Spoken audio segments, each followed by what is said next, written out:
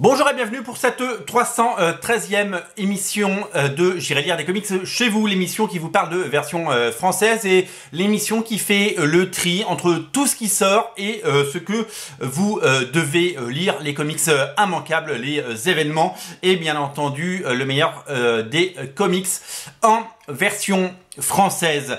Alors, euh, grosse sélection euh, aujourd'hui et euh, je viens de regarder ma pile puisque chaque fois que je sélectionne un titre, je le mets sur ma pile et quand j'en ai assez, je fais une émission. Et il n'y a pas d'Urban.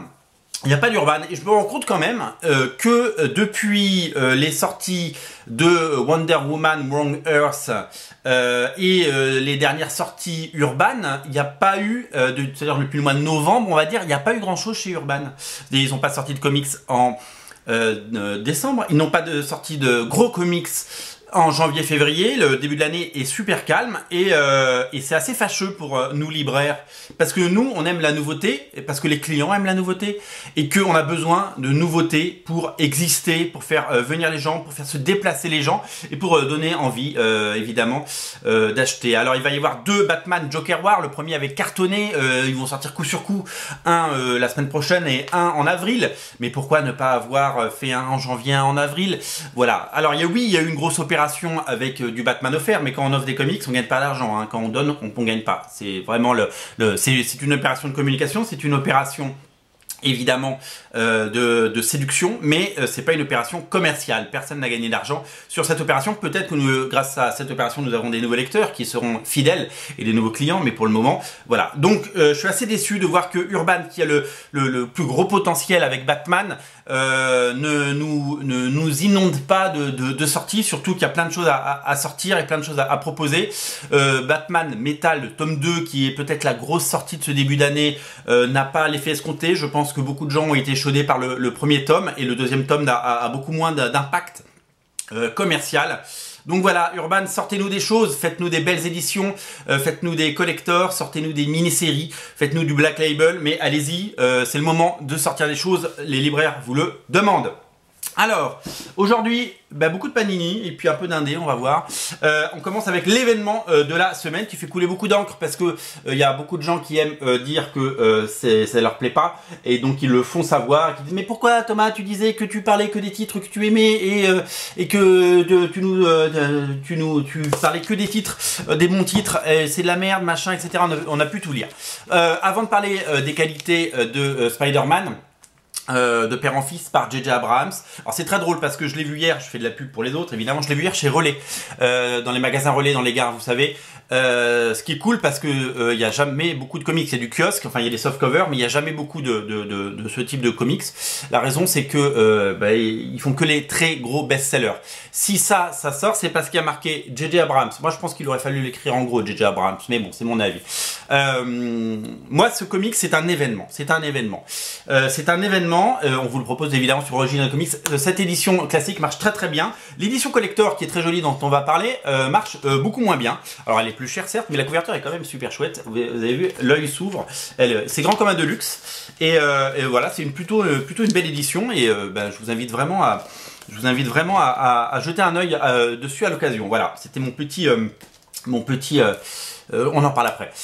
Ça, c'est disponible partout parce que c'est un événement. JJ Abrams, c'est une star d'Hollywood. C'est comme si c'est comme si, euh, je sais pas, euh, Robert Downey Jr. Venait dîner chez vous, quoi. Enfin voilà, on est vraiment sur le, genre de truc qui n'arrive jamais, quoi. Il y a quasiment jamais d'auteurs euh, d'Hollywood qui viennent faire de, des comics. Il y avait son compère Damon Lindelof qui avait fait un Wolverine, un Ultimate Wolverine et Hulk il y a quelques années. Il y avait Kevin Smith qui a fait un peu de comics, mais Kevin Smith c'est c'est une star évidemment, mais c'est pas euh, une méga star qui a fait des films à un milliard, vous voyez. Euh, J.J. Abrams qui consacre du temps à un médium que, qui est lu que par euh, des happy few, que des fans, des gens comme nous, eh ben c'est génial. Voilà, c'est un événement. Donc on est obligé d'en parler. On est obligé d'en parler et on est obligé de vous le proposer. Parce que c'est une porte d'entrée vers les comics. C'est-à-dire que peut-être que euh, des gens n'ont jamais lu de comics et vont voir marquer J.J. Abrams, enfin si, il faut avoir des bons yeux, euh, et peut-être qu'ils vont en entendre parler et peut-être qu'ils vont dire tiens je vais le prendre. Et peut-être que ça leur donnera envie d'aller lire autre chose. Euh, peut-être que ça va les dégoûter à tout jamais, je ne sais pas. Vous savez, il y a des comics que j'adore, il y a des comics que je n'aime pas, il y a des comics que vous aimez et que vous n'aimez pas. Libre, peut-être, il y a des gens qui vont aimer ce comics, il y a des gens qui vont le détester. Voilà, c'est comme ça. Évidemment que les fans hyper pointus de comics qui ont tout lu eh ben ils vont ils vont pas forcément euh, apprécier à sa juste valeur cette série, mais peut-être que les gens qui n'ont jamais lu de Spider-Man vont vont aimer. Et il faut vraiment euh, c'est là c'est pour un large public. Là on va aller au-delà. Vous savez les Deluxe de Spider-Man ils sortent à 2000 exemplaires, 2 3000 exemplaires. Ça ça doit sortir à plusieurs. Je pense qu'on est à plus de 10 000 exemplaires. Je connais pas les chiffres mais on est à plus de 10 000 exemplaires. Donc c'est une chance. Donc déjà je voudrais remettre l'église au milieu du village. Euh, c'est une chance de l'avoir. Donc c'est la raison pour laquelle j'en parle. La deuxième c'est que je suis libraire. Le but, il n'est pas de vous refiler ma cam, comme j'ai pu lire euh, sur euh, les réseaux sociaux. Le but, il est de euh, proposer des comics, en vendre et faire en sorte que la librairie dure. Hein, les temps sont durs, hein, vous savez, je vous ai parlé de toutes les étapes. Hein. On ouvre une boutique, on se tape les grèves, on se tape les gilets jaunes. On ouvre une boutique, boum, pandémie mondiale, Covid. Alors évidemment, on est tous concernés, on est tous... Mais voilà, nous on est là pour vendre des bouquins. Euh, sur un bouquin, on gagne pas beaucoup, on gagne 35%, euh, donc faut en vendre énormément pour payer son loyer, etc. Donc on est, c'est pareil pour tous les libraires. Je parle pas pour moi. Donc on est là pour vendre des BD. Donc avoir un événement comme JJ Abrams, c'est cool. Est-ce que parce que euh, les vieux fans, les lecteurs de toujours, ceux qui ont lu des centaines d'épisodes de Spider-Man, me disent c'est pas bien, n'en parle pas, il y a autre chose, il y a mieux à lire, parle des autres titres Spider-Man. Par ailleurs, on parle des autres titres Spider-Man, hein, les omnibus, on en a parlé plein de fois. Le Big Time l'année dernière, on en a fait des caisses. À chaque fois qu'il y a des bons titres, on en parle. Je vous parle à chaque sortie du nouveau tome des Fresh Start de euh, euh, Spencer et Oakley. Voilà, Spider-Man, on en parle. D'abord, je, suis un fan de Spider-Man, donc je sais de quoi je parle. La deuxième chose, c'est que euh, euh, c'est que moi, en tant que libraire, je peux pas me priver de Spider-Man. Ça, on en a passé une centaine, par exemple. Je peux pas me passer de 100 exemplaires vendus de Spider-Man parce que d'abord, je peux pas me passer et je peux pas les laisser à d'autres. C'est-à-dire que mon rôle, ce serait de vous dire, ne lisez pas ça, allez lire euh, Big Time, qui est génial, ou allez lire le, le Spider-Man de Spencer que j'adore. Mais surtout lisez pas ça et me priver de 100, 100, 100, exemplaires vendus qui vont être vendus de toute façon et les laisser à Amazon ou à, des, la Fnac ou à Cultura, des gens qui vendent des, des, palettes entières de bandes dessinées et, qui vendent aussi euh, bah, des machines à laver, des micro-ondes, des, des téléphones portables. Euh, non, non, non, non, non, non. Le but, il est euh, de vous parler des titres. La troisième chose, c'est que ce titre, je le défends et je vais vous dire pourquoi. Euh, et on est là pour ça et on va parler beaucoup de ce titre euh, visiblement dans cette émission. ce titre je le défends parce que euh, je l'ai lu, je l'ai lu en version originale. Et euh, j'ai trouvé, alors le premier épisode est absolument fabuleux. Vous avez lu les premières pages? Euh, donc c'est Sarah Piquilly au dessin et c'est Olivier Coipel qui fait les couvertures. Le premier épisode met très très bien en place les choses. Comme très souvent dans les films de de J.J. Abrams. Et, euh, et, donc on part sur une réalité alternative, on parle sur euh, de la descendance et on parle sur une autre histoire. Donc il ne, il ne fout pas le bordel dans la continuité, il, euh, il propose autre chose. c'est une espèce de what if, voilà, à découvrir. donc ben vous allez, vous allez, vous allez le découvrir. J'ai vraiment beaucoup aimé le, j'ai beaucoup aimé le, le, en fait j'ai beaucoup aimé la façon dont sont dépeints les personnages. Un Peter Parker qui ne passe pas assez de temps avec son fils qui le laisse un petit peu, euh, qui laisse à tante May le soin de l'élever finalement, euh, qui s'en veut, qui est meurtri. Ben, tout ça c'est dépeint euh, magnifiquement dans ce comics et tout ça, y a les, les, sentiments ressortent très très bien. La perte, la perte d'un être cher, la perte d'une mère. Euh, moi c'est des sujets qui me parlent, je suis désolé. c'est des sujets qui me parlent. Il y a des moments où j'avais des gros lots dans la voix en le lisant parce que parce que parce que moi ça me touche personnellement. voilà, j'ai aimé l'écriture, j'ai aimé certains passages c'est sur la filiation, c'est sur la transmission, c'est sur euh, créer des liens, c'est sur l'amour maternel, c'est sur l'amour paternel.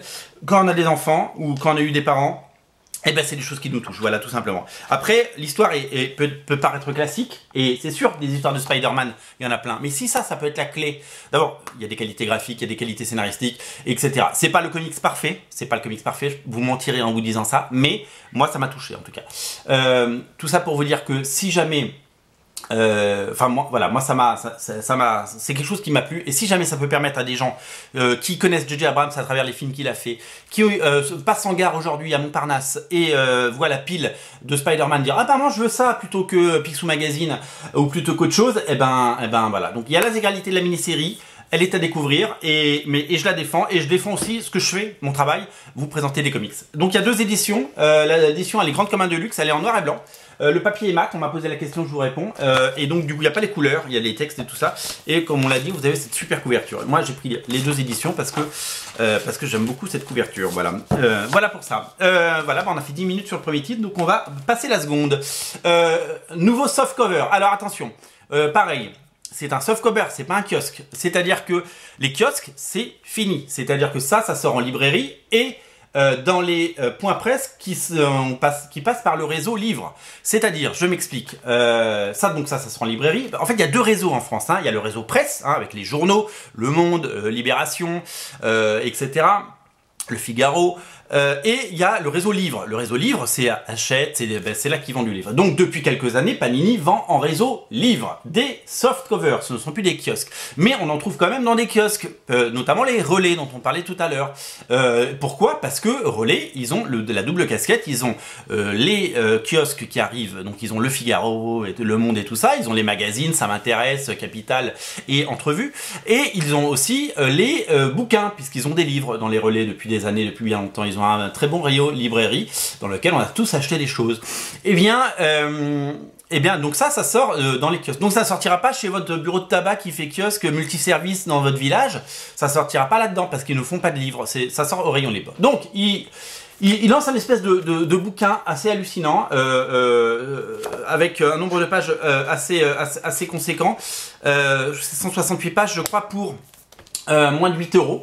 Euh, c'est peut-être un format qui va faire date. Et moi, c'est ça qui m'intéresse beaucoup dans le concept parce que sinon, ce sont des rééditions de qualité, certes, avec une magnifique couverture d'Alex Ross avec Wolverine. Ça s'appelle Les Trésors de Marvel. C'est le numéro 1, c'est un trimestriel et euh, le premier numéro date de l'année 82. À l'intérieur, on retrouve plein de comics, 6, 6 je crois, ou 7, de l'année 1982 avec notamment euh, notamment euh, du Frank Miller, du Daredevil, euh, du, X-Men bien entendu. toute cette époque, toute cette époque 1982 qui a été une grande année pour les comics. Et donc chaque numéro va nous proposer une année à découvrir avec les meilleurs comics de chaque année. Et je trouve que l'idée est super chouette et je trouve que c'est une très très bonne idée. Il y a du John Byrne, etc. Du coup, et c'est surtout que c'est pas cher, ça permet vraiment de découvrir. Alors évidemment, c'est pour les vieux briscards, mais vous allez me dire les vieux briscards, ils ont déjà ces comics là. non, parce que pour 8 euros, on prend pas de risque. Moi, ce format il me plaît parce que peut-être que demain, euh, nous aurons droit à euh, bah, beaucoup plus euh, de, bouquins dans ce genre et que nous aurons droit à, à d'autres MOOC comme ça, d'autres bouquins de cette qualité avec avec un prix à 8 euros parce qu'on ne pourra pas faire moins de nos jours, hein, vous le savez. Mais voilà, ça, en appelle d'autres. Je pense que c'est un test et si ça marche, ça carte. En tout cas, nous on en a vendu pas mal, je peux vous le dire. ce qui est très bien. Donc merci parce que c'est cool d'avoir des choses à moins de 10 euros quand même à proposer sur un site avec du contenu et, voilà. Alors, euh, j'avais annoncé dans une vidéo que c'était la collection Must Have, pas du tout. C'est la collection Best of Panini. Euh, a été réédité euh, une œuvre qui n'était plus disponible de Marc Millard, dessinée par Tommy Lee Edwards, ça s'appelle 1985. C'est un projet un peu fou qu'il avait fait en 2008, un projet dans lequel qui se passe dans le monde réel, qui ne se passe pas dans le monde de Marvel, dans l'univers Marvel. Un projet dans lequel le jeune Tommy euh, Toby, pardon, oulala, pourquoi j'ai dit Tommy, je pensais à Tommy parce que euh, parce que demain il y a Vendavision et qu'on attend Vendavision euh, épisode 7 euh, avec impatience, Billy et Tommy. le petit Toby, il est un peu tout seul, ses parents ont divorcé, on est en 1985 et il lit des comics et il lit des comics à partir de la mi 1985, Guerre secrète numéro 2, etc., etc. Mais il est un peu tout seul, il s'évade un peu dans ses comics et il commence à avoir des hallucinations, il commence à voir les méchants, il commence à voir le Baron Zemo, Red Skull il commence à avoir pas mal de méchants euh, euh, euh, dans le monde réel et pense qu'il a des hallucinations, que c'est un, traumatisme, des illusions post-traumatiques, vous savez, un trauma qui fait que, que, que voilà, il, est pas très heureux comme petit garçon et, et donc voilà. Mais en fait, il se rend compte que euh, il y a une y a eu une faille dans, dans, dans l'univers et que les méchants Marvel euh, sont arrivés et donc du coup, il va devoir prendre les choses en main.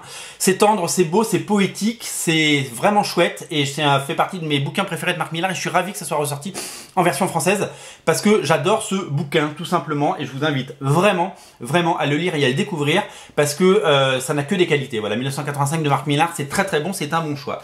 Toujours chez Panini, euh, une très belle réédition de luxe parce que ça méritait un Deluxe. Je suis ravi, hein. Panini ressort tout en Deluxe. Et je sais pas pourquoi à une époque ils ont arrêté tout, ils ont arrêté tout le Deluxe.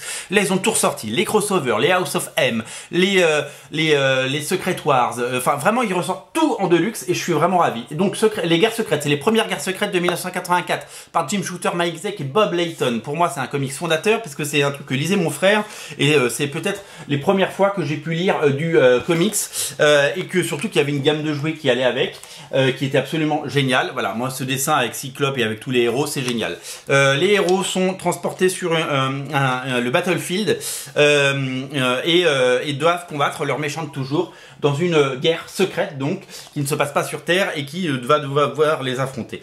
c'est génial, c'est génial à tout point de vue. on y trouve tous nos personnages préférés et alors évidemment que c'est un comics qui a un peu vieilli, mais c'est un comics tellement tellement tellement chouette. Euh, les vieux lecteurs s'y retrouveront. Et, euh, les nouveaux s'ils ont envie de, goûter un petit peu au goût du passé ben, je pense qu'ils vont se régaler. Il y a même euh, Photon Monica Rambeau vous voyez comme personnage que j'adore. Un personnage qui fait les belles heures de WandaVision vous le savez. La couverture c'est Alex Ross c'est un deluxe. Et ça ça doit figurer dans toutes les bonnes collections. Dans la collection Must on en parlait tout à l'heure. Réédition des 7 premiers épisodes de Jim Lee et Chris Claremont sur X-Men avec les nouvelles couleurs. Vous savez il y avait une autre édition qui est sortie il n'y a pas si longtemps. Euh, il y a une autre édition qui est sortie euh, qui euh, proposait les trois premiers épisodes en très grand format avec les anciennes couleurs. Là, on est sur les nouvelles couleurs.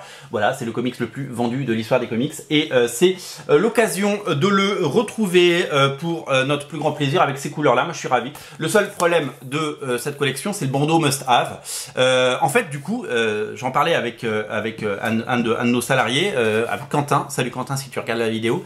eh bien le problème de cette collection, c'est qu'elle est géniale, c'est qu'il y a tous les grands classiques à 15 ou 20 balles, selon le nombre de pages, donc c'est super d'avoir fait ça. Le problème, c'est le bandeau. Parce que du coup, on a l'impression d'avoir une collection de kiosques, vous savez, les collections achètent à 3,99€ euh, pour 15 balles. Donc c'est un peu, un peu rageant. Donc j'espère qu'il sautera dans les prochaines rééditions. Moi, je me la reprendrai sans le bandeau si ça ressort. Mais voilà, Panini a ce problème de ne jamais faire les choses parfaitement. Ils auraient pu faire une magnifique collection comme ça à 15 balles, avec juste un macaron derrière ou machin, un truc pour montrer que c'est la collection, mais le grand bandeau must-have euh, ça pique un peu. Moi, c'est mon deuxième must-have parce que je me suis repris aussi d'Ardeville, L'homme sans peur, et du coup, voilà. Rapidement, deux sorties à ne pas rater, euh, ça il faut que euh, faut que je finisse de le lire, mais ça a tout tout bonne comme on dit. c'est Folk Folklords, pardon, euh, tome 1 euh, chez Delcourt euh, par Matt Kint. Matt Kint, c'est un peu le, le, le, scénariste qui survole un peu les comics de, depuis quelques, quelques années. c'est vraiment, vraiment très chouette ce qu'il fait. Le dessin, c'est Matt Smith. Et, et bah, comme souvent, édition soignée chez Delcourt. Delcourt qui sort peu de choses, mais qui sort des choses bien. On est clairement dans un monde dominé par la magie, les monstres. Et, et euh, ça, ça, ça suit les aventures de Hansel, qui est un peu moqué pour son style. Euh, il n'est pas habillé pareil, hein, il est habillé un peu comme dans notre monde, euh, voyez. et donc du coup, il va devoir partir pour une quête. C'est un comics Boom Studio. Euh, c'est un comics Boom Studio euh, publié par Delcourt et euh, bah, c'est vivement recommandé. Il faut que je finisse de le lire, mais c'est très chouette. Pareil, je dois lire Solo parce que j'avais lu les tomes d'avant et le tome 5 je l'ai pas encore lu, mais c'est sorti. Solo, c'est l'œuvre de. Alors c'est pas un comics, hein, c'est une BD espagnole. C'est Oscar Martin. Regardez le dessin d'Oscar Martin. Tout en rondeur, tout magnifique, tout beau, tout bon, tout chouette. Vraiment, vraiment très très beau un, super super euh, projet, un super euh, un super bouquin. Euh, vraiment, j'adore. C'est vraiment hyper chouette. je vous invite évidemment à découvrir Solo de Oscar Martin. pareil, on est sur une BD d'Heroic Fantasy. Il y a déjà 5 tomes et vraiment c'est une BD géniale. Là, on est dans le cycle 2. Le cycle 1 est, est terminé. à découvrir. Euh, ah, alors ça faut pas rater, c'est la réédition de Cosmo euh, chez Original Watt de Jean-Yves Mitton. Alors Jean-Yves Mitton, on le connaît évidemment pour euh, Micros, on le connaît pour Epsilon, on le connaît pour Chronos, euh, mais on le connaît pour Photonic, puisqu'il a fait des épisodes de Photonic, mais on le connaît moins pour Cosmo, réédité en deux tomes, en VF et en couleur, évidemment, par Original Watt, donc dans le même format que les rééditions de Micros.